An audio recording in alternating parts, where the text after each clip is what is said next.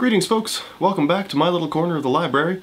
Today we're doing a sort of companion video to the one we did earlier in the week on Bannerman's Island Arsenal.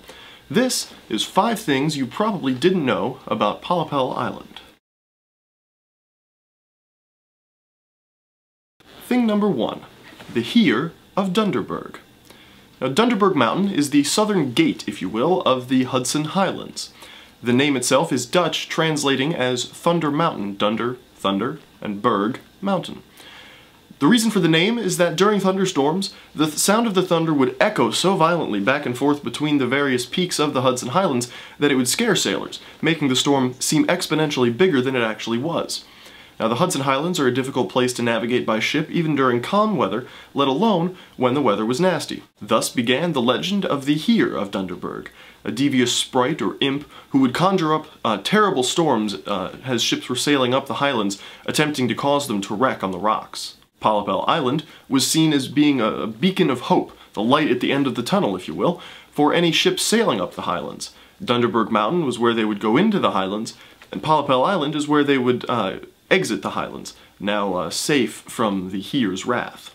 Washington Irving himself, writing as Geoffrey Crayon, even took this legend to heart in his short story called The Storm Ship, which he published in a collection called Bracebridge Hall, or The Humorists. Thing number two. Pollepel Island was seen by the uh, colonists as being an important point of defense against the British during the American Revolution. Captain Thomas Machin, who would later go on uh, to achieve some level of notoriety for his work on the West Point chain, would sink a line of chevaux de frise from Pollepel Island west across the Hudson River to Plum Point. Now, chevaux de frise are large wooden boxes composed of logs, usually about 15 or 20 feet across on, on each side. They would then be filled with rocks and sunk to the bottom of a body of water. Out of these boxes would come other large logs about 30 feet long that would be tipped with iron points.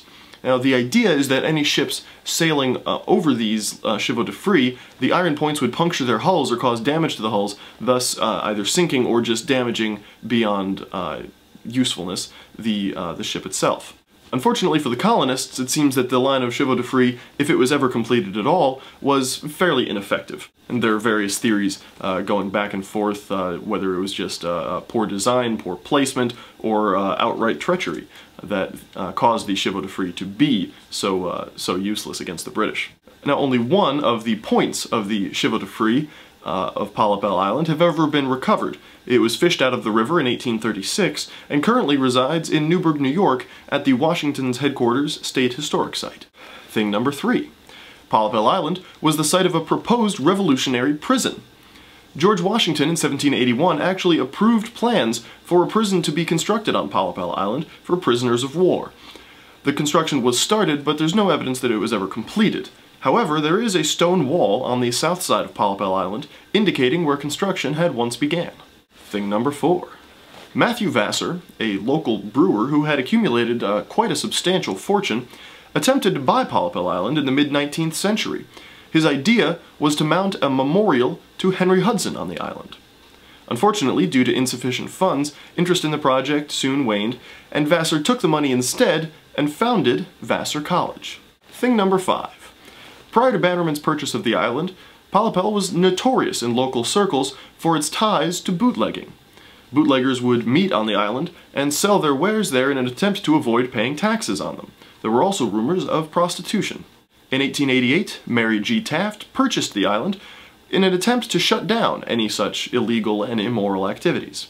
Now, Mrs. Taft, a staunch prohibitionist, actually included a rider in the deed in the bill of sale of Pollepel Island to Francis Bannerman VI that he never used the island for the manufacture or distribution of alcohol. Well, that's all we've got for you today, just a couple trivia items. I do hope you enjoyed it. If you did, be sure to give us a big thumbs up down below. Hit that subscribe button on the way out the door to stay up to date on all of our uh, latest videos. I do hope you enjoyed it. Thanks for watching. We'll see you next time.